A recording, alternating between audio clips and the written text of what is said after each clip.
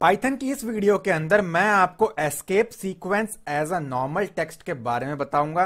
क्या होता है escape sequence as a normal text ये सारे डिटेल्स को हम लोग आज इस वीडियो के अंदर समझने वाले हैं। वीडियो को स्टार्ट करने से पहले अगर आप हमारे चैनल पर न्यू है तो सब्सक्राइब करें बेल आइकन को क्लिक करके ऑल नोटिफिकेशन को ऑन करें ताकि आपको लेटेस्ट वीडियोस की नोटिफिकेशन मिलती रहे। ऑलरेडी मैंने आपको पाइथन के छह ट्यूटोरियल्स दे दिए हैं और जो लास्ट लेक्चर था लास्ट के दो लेक्चर्स अगर मैं सेकंड लास्ट की बात करूँ तो मैंने आपको एस्केप सीक्वेंसेस कराया था ठीक है? और आज के वीडियो के अंदर उसका बहुत ही बड़ा रोल होने वाला है। उसी के ऊपर ये सारा लेक्चर हमारा बेस्ड है। तो मेक श्योर sure आप एक बार इस वीडियो को भी ज़रूर चेक कर लें और पाइथन की कंप्लीट प्लेलिस्ट की जो लिंक है इस वीडियो के डिस्क्रिप्शन में मैंने मेंशन किया हुआ है ठीक है? और एक बार ज़रूर प्लेलिस्ट सेक्शन में जाके देखें। यहाँ पे आपको गेम डेवलपमेंट व्हाट्सएप की तरह चैट एप्लीकेशन डेवलपमेंट और गूगल की तरह सर्च इंजन वेबसाइट मैंने बना के दिखाया हुआ है। सो so, अब escape sequence as a normal text से मेरा क्या मतलब है, उसके लिए मैं एक काम करता हूँ। यहाँ पे मैंने एक फ़ाइल क्रिएट किया और इसको सबसे पहला काम हम ये करते हैं कि इसको हम लोग सेव कर रहे हैं, ठीक है? तो यहाँ पे मैंने इसको डेस्कटॉप पे सेव कर लिया ऑल फाइल्स और यहाँ पे लिख दिया मैंने escape as normal dot P Y ठीक है? तो मैंने इसको सेव कर दिया। सेव करने के बाद यहाँ पे मैं क्या कर रहा हूँ, मेरी रिक्वायरमेंट क्या है, मुझे स्क्रीन के ऊपर कुछ ऐसा प्रिंट करना है। तो आपको जो आउटपुट देना है ना स्क्रीन पे, वो ये है। Output line A slash N line B ठीक है? अब देखिए आउटपुट से मुझे कोई मतलब नहीं है। मुझे स्क्रीन पे एज इट इज़ ये प्रिंट करना है। एज इट इज़ से मेरा ये मतलब है कि ये स्लैश एन भी प्रिंट होना चाहिए।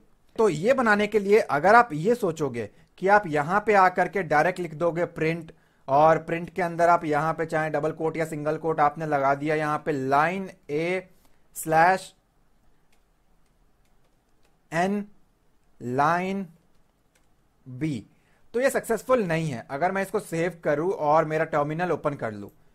टर्मिनल ओपन करके यहाँ पे सीडी डेस्कटॉप मैंने लगा दिया। सॉरी मैंने यहाँ पे लिखा सीडी डेस्कटॉप और जो डेस्कटॉप का डी है वो कैपिटल रहना चाहिए। ठीक है? तो हम ऑलरेडी डेस्कटॉप पे है डेट्स वाई वो कह रहा है। सो so, मैं इसको क्लियर कर लेता हूँ। और यहाँ पे अगर आप इसको रन करने का प्लान करोगे ना Python escape as normal dot P Y तो ये आपको आउटपुट देने वाला है। लाइन ए और न्यू लाइन पे आपको लाइन बी देने वाला है। लेकिन मेरी रिक्वायरमेंट ये नहीं है। मैं चाहता हूँ एज इट इज़ ये प्रिंट हो जाए। मतलब अगर मैं स्लैश टी लिखूं तो मुझे स्क्रीन के ऊपर उसको भी प्रिंट करना है। ठीक है? तो उस केस में ये सक्सेसफुल नहीं है, क्योंकि ये तो एक एस्केप सीक्वेंस बन गया। तो मुझे इस एस्केप सीक्वेंस को एक नॉर्मल टेक्स्ट बनाना पड़ेगा, क्योंकि एस्केप सीक्वेंस तो प्रिंट हो ही नहीं सकते।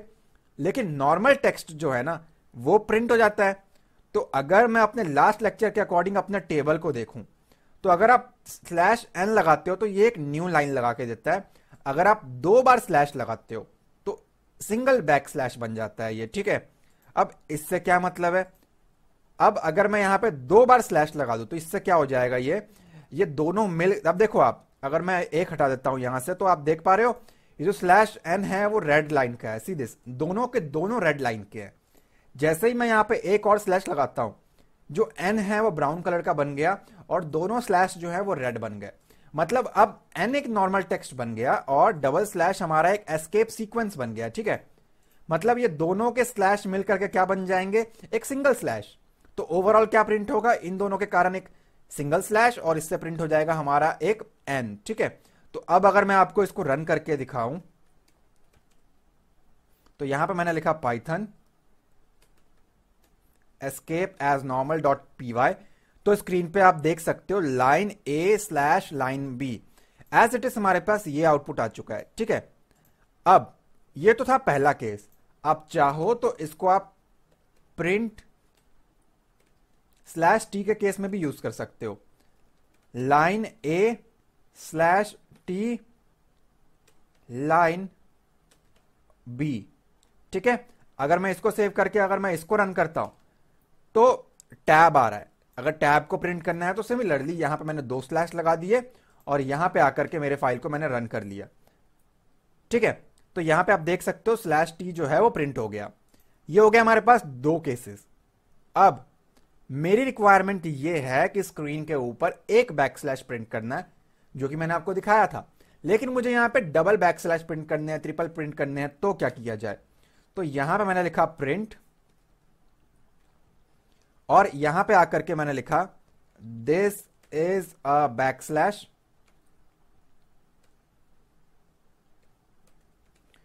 ठीक है? और यहाँ पे आकर के मैंने डबल स्लैश लगा दिया और सेव किया। स्क्रीन को मैं यहाँ पे क्लियर कर रहा हूँ। और मेरे फ़ाइल को मैं यहाँ पे रन कर रहा हूँ। Python escape sequence escape as normal dot P Y तो एक सिंगल बैक स्लैश हमारे पास प्रिंट हो चुका है। ठीक है? अगर आपकी रिक्वायरमेंट है कि दो बैक स्लैश चाहिए तो आपको यहाँ पे चार बैक स्लैश लगाने पड़ेंगे। क्योंकि दो बैक स्लैश मिलके एक बैक स्लैश बनाता है और अगले दो बैक स्लैश मिलके दो बैक स्लैश बनाएँगे। ठीक है? टोटल अब आप चेक कर सकते हो, यहाँ पे आपके सामने टोटल दो बैक स्लैश आ चुके हैं। अगर आपकी रिक्वायरमेंट है कि चार बैक स्लैश प्रिंट करने हैं तो यहाँ पे आपको टोटल आठ बैक स्लैश लगाने पड़ेंगे। इससे एक बैक स्लैश बनेगा, इन दोनों से एक और इससे एक और इससे एक। सब मिला के कितना बन जाएगा? चार। फ़ाइल को सेव करके रन किया सीधे चार बैक स्लैश हमारे पास प्रिंट हो जाएँगे, ठीक है? अब मूव करते हैं हम लोग अगले आउटपुट की तरफ़। अब मेरी रिक्वायरमेंट ये है कि जो मेरा आउटपुट है ना, वो कुछ ये होना चाहिए। मैं आपको बना के दिखाता हूँ। मुझे आउटपुट चाहिए slash double quote slash single quote मुझे एज इट इज़ स्क्रीन के ऊपर यही प्रिंट करना है। Slash double quote slash single quote तो अगर आप ये सोचोगे कि आप इसको एज इट इज़ प्रिंट में लिख दोगे तो ये भी काम नहीं करेगा, ठीक है?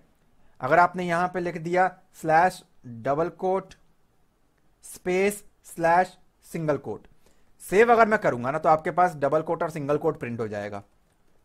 मैंने इसको यहाँ पे क्लियर कर दिया और मेरे फ़ाइल को मैं यहाँ पे रन कर रहा हूँ। ठीक है?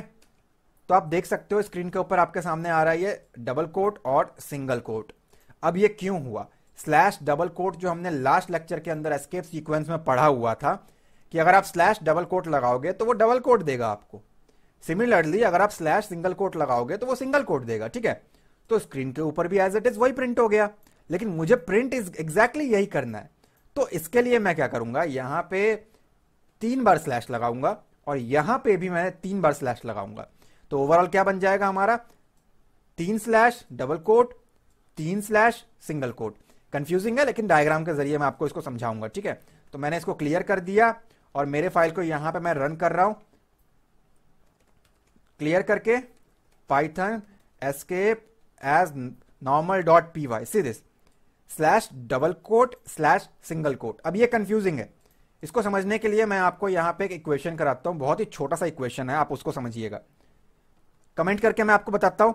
मैंने आपको लास्ट लेक्चर के अकॉर्डिंग टेबल में क्या कराया था? स्लैश और सिंगल कोट क्या बनाता है ओवरऑल सिंगल कोट ठीक है? तो यहाँ पे मैंने लिखा स्लैश सिंगल कोट ये आपको ओवरऑल देने वाला है सिंगल कोट ठीक है? पीपीटी के अकॉर्डिंग अगर हम यहाँ पे डबल स्लैश लगाएँगे तो ये हमें ओवरऑल क्या देगा? एक स्लैश प्रिंट करके दे देगा, ठीक है? तो अगर मैं यहाँ पे डबल स्लैश लगाऊँगा तो ओवरऑल मुझे सिंगल स्लैश मिलेगा, ठीक है? अब, अगर मैं इसको ए मान लेता हूँ इक्वेशन के अकॉर्डिंग मैथ्स का, और नीचे आकर के अगर मैं इसको बी मान लू तो अगर आप इन दोनों को प्लस करते हो ना तो इससे क्या मिलेगा आपको आंसर दोनों को प्लस करोगे तो क्या मिलेगा? एक स्लैश और दो स्लैश कितने बन जाएँगे? तीन स्लैश। और साथ में एक सिंगल कोट ठीक है? और इस तरफ़ क्या बनेगा हमारे पास? अगर आप कुछ ऐसा लिखोगे तो ओवरऑल आपको आंसर क्या मिलेगा? स्लैश और सिंगल कोट तो यहाँ पे मैंने लिख दिया स्लैश और सिंगल कोट ठीक है? तो यही ऊपर हुआ, हमने क्या किया यहाँ पे? तीन स्लैश और सिंगल कोट लिखा तो ओवरऑल आंसर हमें मिला single quote I don't think इसमें आपको कोई डाउट होना चाहिए। सिमिलरली दूसरा इक्वेशन है हमारे पास। अब यहाँ पे अगर मैं आपको चेक कराऊं, अगर आप स्लैश और डबल कोट लगाओगे तो ओवरऑल आपको क्या मिलता है? डबल कोट ठीक है? तो अगर आप स्लैश और डबल कोट लगाओगे तो ओवरऑल आपको एक डबल कोट मिल जाएगा, ठीक? अगर आप दो स्लैश लगाओगे तो वो तो एज इट इज़ यही रहेगा।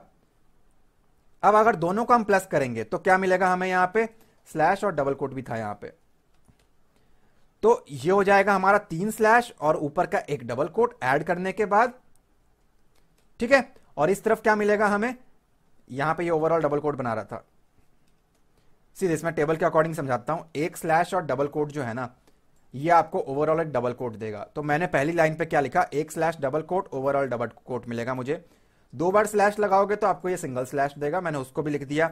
इसको इक्वेशन ए मान लिया, इसको बी मान लिया। ओवरऑल क्या बना ये? तीन स्लैश बन गया और ऊपर का एक डबल कोट यहाँ प्लस हो गया। ये क्या बन गया? एक स्लैश और डबल कोट तो यहाँ पे आकर के मैंने लिख दिया एक स्लैश और डबल कोट इसीलिए जब मैंने तीन स्लैश और डबल कोट लगाए तो ओवरऑल हमारा ये आंसर आया। क्लियर है?